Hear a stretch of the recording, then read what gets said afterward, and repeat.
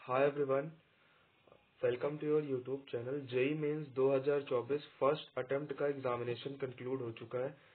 पूरा वीडियो में डिस्कस करने वाला हूँ कि मार्क्स वर्सेज परसेंटाइल क्या रहने वाला है और पूरा शिफ्ट वाइज डिस्कस करूँगा। तो जो भी बच्चे पहली बार आए हो तो मेक श्योर चैनल को सब्सक्राइब करके ज़रूर रखिएगा। क्योंकि जितने भी कॉम्पिटेटिव एग्जामिनेशन होंगे, चाहे आपका आईसे होगा अब आपके एग्जामिनेशन भी खत्म हो चुके हैं। तो आईसर्स हो गया नाइसर्स हो गया V I T triple E BITSAT W B JEE हो गया आई एस आई हो गया, जितने भी कॉम्पिटेटिव एग्जामिनेशन सब में आपको हेल्प मिलने वाला है एप्लीकेशन फॉर्म से लेकर टिल काउंसलिंग तक।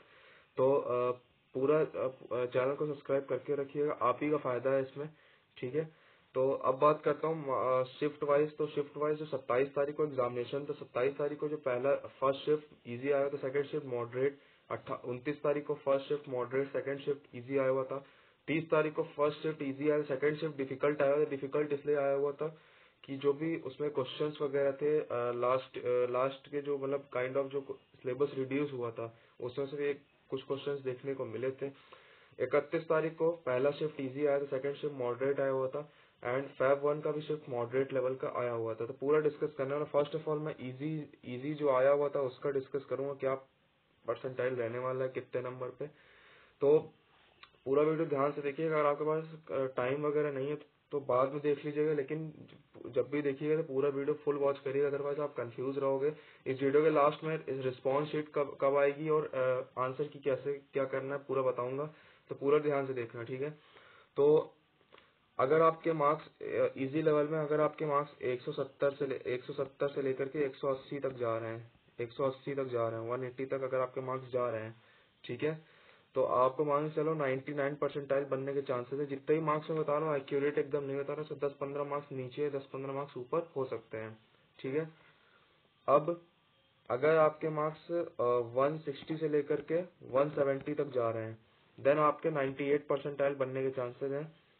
अगर आपके मार्क्स 150 से लेकर के 160 तक जा रहे हैं देन 97 इसी तरह से फर्दर आपका अगर आ, क्या कहते हैं 150 प्लस आ रहा है तो 95 परसेंटाइल 140 प्लस आ रहा है तो आपका 90 सॉरी नाइन्टी फाइव परसेंटाइल यहाँ बनेगा 96 परसेंटाइल अगर 150 तक आया तो 96 परसेंटाइल बनने के चांसेस हैं।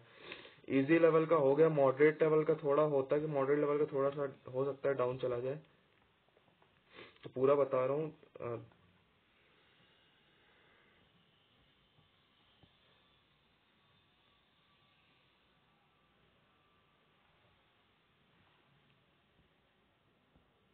मॉडरेट लेवल में अगर आपके मार्क्स 160 से लेकर के 170 तक आ रहे हैं काइंड ऑफ़ की मान सकते हो 10-15 मार्क्स दस मार्क्स मैंने कम किए हैं अगर आप वहाँ तक आ रहे हैं तो इतने 99 परसेंटाइल बनने के चांसेस है। डेढ़ सौ तक अगर आपके आए तो 98 परसेंटाइल बन सकता है।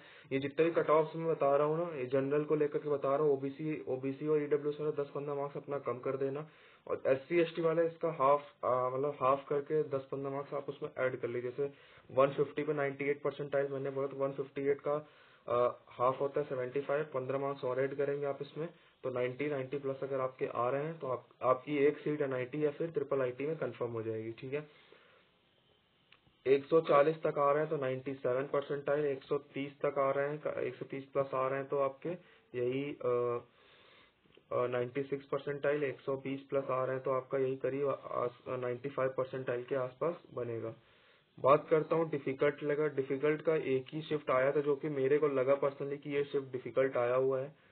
बाकी और कोई ऐसा शिफ्ट लगा नहीं कि मेरे को जो डिफ़िकल्ट आ सकता है। काइंड ऑफ़ बाकी सारे पेपर तो इजी और मॉडरेट लेवल के आए हुए थे।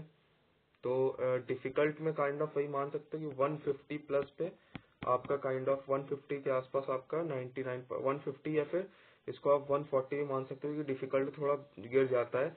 तो 99 परसेंटाइल के आसपास मान सकते हो। दस ज़्यादा मार्क्स कम करके इसी तरह आप 96 95 तक पहुँच सकते हो। बात करता हूँ आंसर की आंसर की वगैरह कब रिलीज़ होगी? आंसर की पहली बात तो रिस्पॉन्स शीट रिस्पॉन्स शीट आ जाना मैं सोचा था कि एग्ज़ाम के जैसे ही खत्म होता है तो उसके अगले दिन आ जाती तो अभी तक तो कोई आया नहीं है। जैसे ही कुछ आता है मैं आपको इन्फॉर्म करूँगा। रिस्पॉन्स शीट लेकिन जैसे ही आएगी तो उसको आप तुरंत डाउनलोड कर लेना। ठीक है, क्योंकि वो तीन से चार दिन के बाद डिसअपियर हो जाती है वेबसाइट से हटा दिया जाता है उसको। फिर काफ़ी सारे बच्चे आप लोग परेशान रहते हो। लास्ट ईयर भी यही प्रॉब्लम हुआ था कि वहाँ से हटा दिया गया था वेबसाइट से। बच्चे फिर बोल रहे थे, भैया रिस्पॉन्स डाउनलोड कैसे करें? क्या करना है अब? तो फालतू मेल ओल के चक्कर मत पड़ना। जैसे ही रिस्पॉन्स शीट आता है, आप लोग फ़र्स्ट ऑफ़ ऑल डाउनलोड करोगे। उसके बाद आपकी एक प्रोविजनल आंसर की आएगी, जिसमें से कई सारे कई सारी चांसेस होते हैं कि आपको बोनस मिल जाएगा। कभी कभार होता क्या है कि मल्टीपल ऑप्शंस करेक्ट हो जाते हैं तो जिसका ए सही है, उसको ए वाले को नंबर बी सही है तो बी वाले को भी नंबर दे दिए जाते हैं। इस तरह होता है वहाँ पे, ठीक है? तो रिज़ल्ट आपका एनटी की ऑफिशियल वेबसाइट पे लिखा हुआ है कि बारह तारीख को आ रहा है तो उसके जस्ट एक दिन पहले या फिर दो दिन पहले आपका दस या फिर ग्यारह को फाइनल आंसर की रिलीज़ कर दिया जाएगा। जैसे ही कुछ आता है मैं आपको इन्फॉर्म करता हूँ होप सो पूरा वीडियो आपको समझ में आ गया होगा। कोई भी डाउट हो, आप मेरे को टेलीग्राम पे मैसेज करो, मैं ज़रूर रिप्लाई करूँगा। जिन्होंने ज्वाइन नहीं किया ज्वाइन करके ज़रूर रखो। कल आपको एक वीडियो मिल रही होगी जेई और मेंस और एडवांस के अलावा आपके पास कौन कौन से ऑप्शन है, पूरा डिटेल में बताऊँगा। तो चैनल को सब्सक्राइब करके रखना। मिलता हूँ आगे की वीडियोस में। तब तक के लिए stay safe and bye bye